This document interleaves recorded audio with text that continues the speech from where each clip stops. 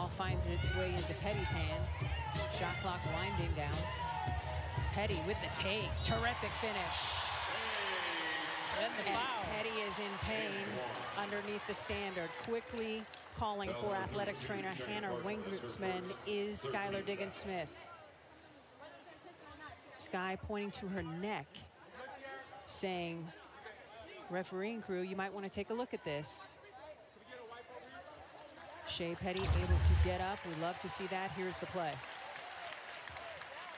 Yeah, a little elbow to the, the neck. Chest area, right at the very end. Peddy is as tough as they come. Shey Peddy to the line.